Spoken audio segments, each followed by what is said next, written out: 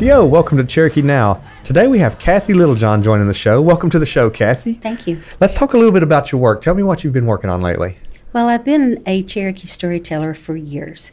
And after I retired, I wanted to work on a different type of project. One, to preserve the stories, and two, to use social media as a different kind of outlet.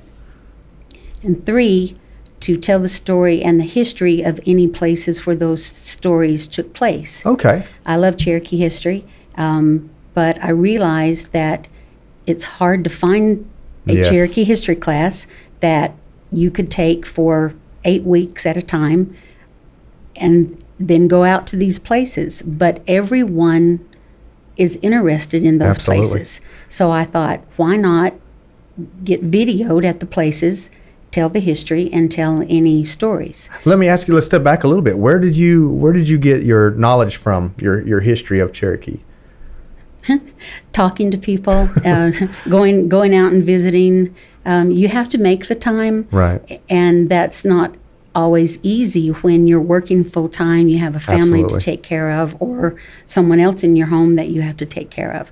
So, I started by going out to um, different classes. In fact, I missed one um, that my sister got to take, and it disappointed me so much because I didn't know it was being offered. Oh no. And I thought, why can't people, while they're waiting in the parking lot to pick up their children Mm-hmm. from ball practice, do a five minute history lesson? And then maybe they would say, let's, this weekend, let's take the kids and go there. Absolutely. You know, it's, it's so close by and it's so important to do. Well, absolutely. And, and you're working kind of in my world now where we're trying to get these stories out and educate people and, Okay. and get people excited about our culture. And that's great to have um, people like yourself out there that are, are moving into those areas of uh, social media and technology to get those stories, you know, taken down forever. Once we film them, once we record them, it's out there forever. Our, Right. our kids can enjoy them. And you're right. When, when you're busy in your busy life, which we all have,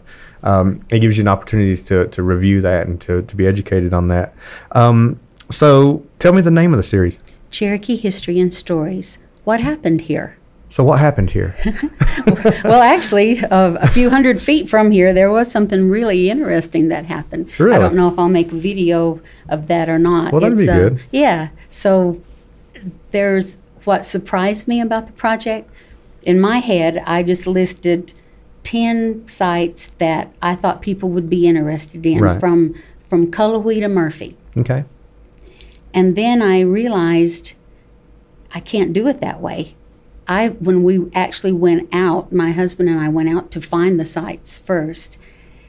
We found seven in Clay County alone. Oh, I got you. We didn't even get up to the gorge. right. So there's so many sites that I was astonished. Wow. So, but that's a good thing. It is. It's a lot of history here. There's a lot of a lot of stories to be told. Right. Um, so what what did you what was one of the key things you discovered on your on your journey out here to get this story told, this uh, Cherokee history and stories? What were one of the one of the coolest things that you've seen out there? Oh gosh. I think Quanassee Mound Uh huh. in the in the town of Hayesville, that was amazing. Wow. That was truly amazing. And to realize that when I had gone to softball games, when my stepdaughter played, I was sitting a hundred yards away from it and I didn't even know it was there. The second, well, and I think meeting the people, if it's on their property, Uh huh. seeing how they passionately care for that. Gotcha. And they love having people come and see it. And they take the time to answer questions.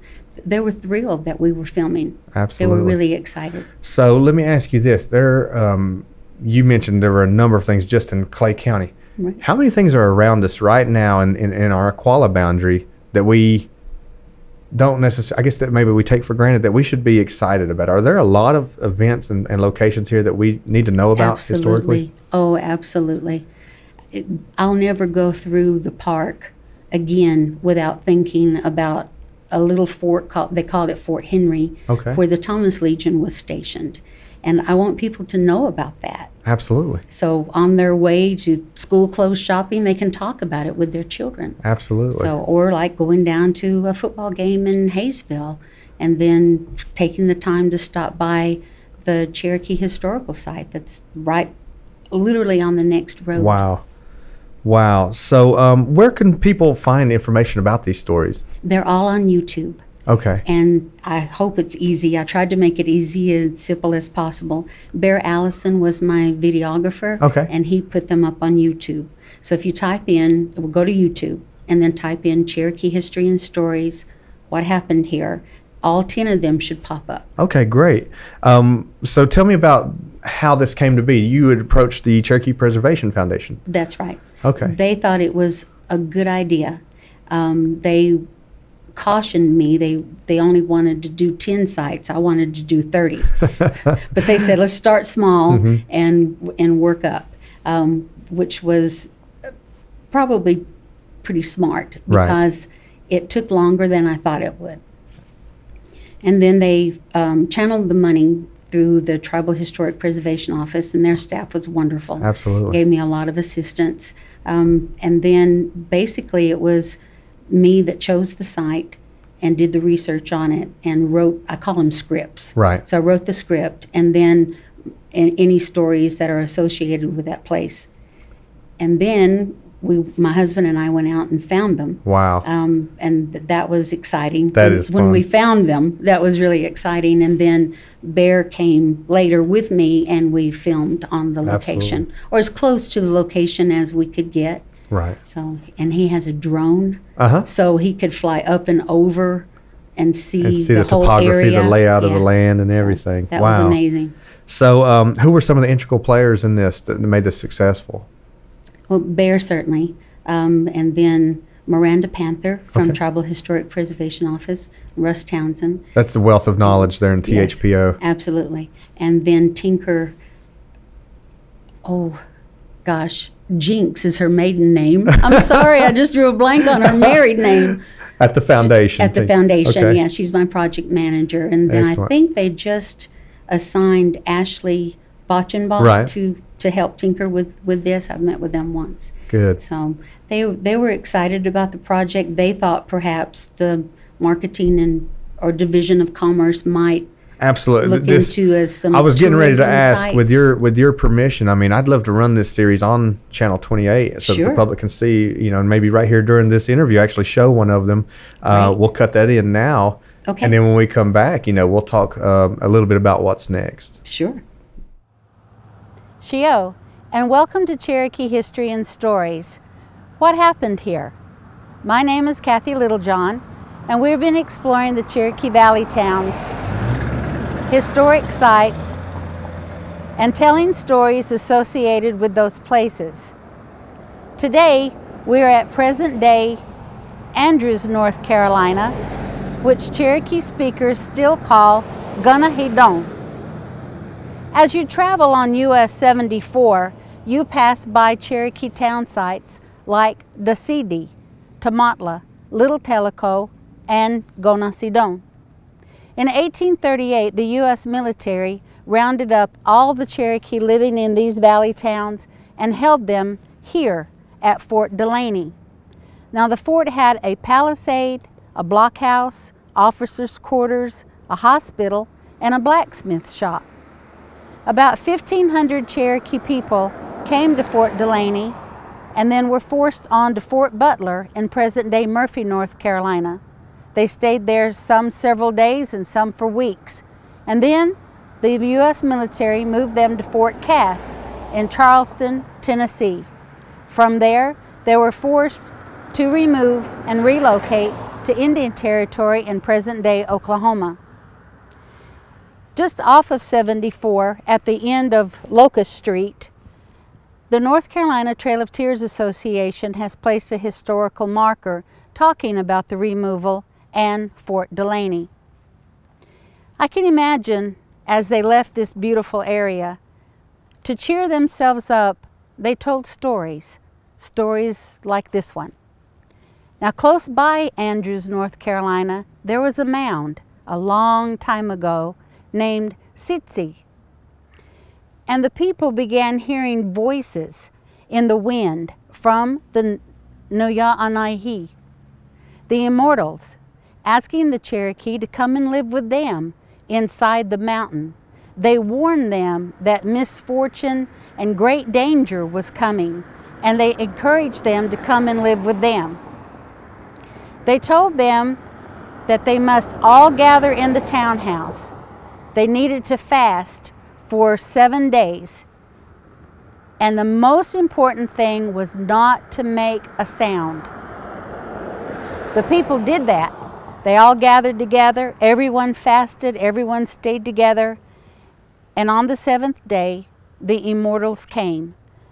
They came with a sound like a roaring thunderclap. And they picked up the townhouse, which scared some of the people, and they let out a scream. This startled the immortals, and they dropped one end of the townhouse, creating part of the mound of Sitsi. The rest was taken with them up to Lone Peak near the Cheoah, and they were turned to solid rock, keeping all of the Cherokee people inside safe. Thank you for joining me on Cherokee History and Stories. What happened here? All right. So what's next um, on your journey to uh, to tell to continue to tell these stories? I still have to go out to the schools and the museums in Cherokee County and Clay County and, and Graham County and here, Kituwah Academy, um, Swain and Jackson County, and let them know that the videos exist Right. and that they can use them if they have a Cherokee history course or Cherokee history and culture special event. Um, maybe they might want to take a, tr- a school trip, a field trip to some of the places. Right. So I, I still have to do that and then promote the 10 that I've done.